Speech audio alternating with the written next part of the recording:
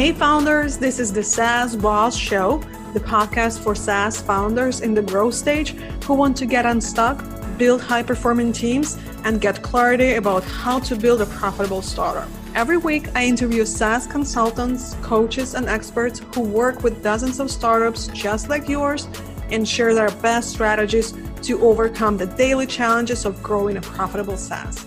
My name is Natalie Luneva, and I'm a growth and leadership coach to SaaS founders. And I'm also married to a SaaS founder. And I'm so pleased that you've joined us on this conversation. Hi, everyone. I wanted to quickly pop up here and share with you a quick idea about uh, improving your churn rate during these unprecedented times when um, many customers may reach out to you and ask to cancel their subscription due to um, current events and that they're not using the tool and so on. And um, I've seen a few recommendations in various communities where um, people talk about discounting their rates instead of canceling. I really believe that if someone reaching out to you and asks to cancel their subscription due to coronavirus or mentioning current um, state of economy, I would really recommend instead of discounting, just giving them the next couple of months for free, which does few different things. Number one is it keeps the customer because it's going to be much harder for you to go back to them in two and three months and get them to resubscribe to your tool. It also shows that you are human and you are trying to help. It saves you time so that you don't need to go back two and three or four months down the road and get them to subscribe back to your tool. And in two months, hopefully they're going to stay and keep using your tool. So there are many benefits to that.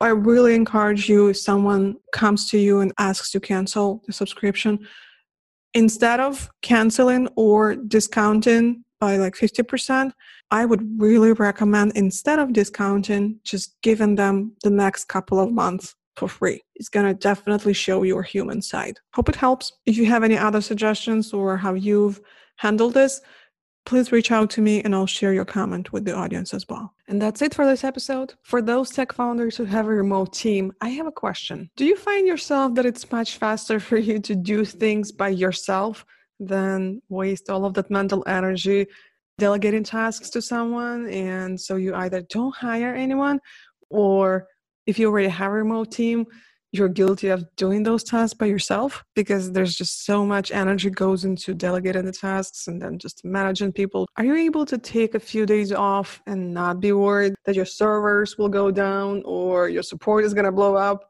what if you could work on more strategic important things and let your team fix the bugs if you only started building your team in the last couple of years i guarantee that you are making lots of mistakes that hinder your growth without even realizing that. Oftentimes, you, the founder, may end up being the bottleneck to your team's success. That, that, that is definitely hard to swallow, but it's true. But also, look on the bright side, this is also the easiest problem for you to fix because you are in control of how to fix it.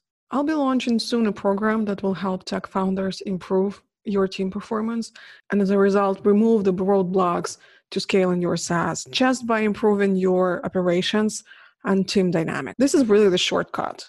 To be notified when it's live, go to my website, natalieluneva.com slash team. natalieluneva.com slash team.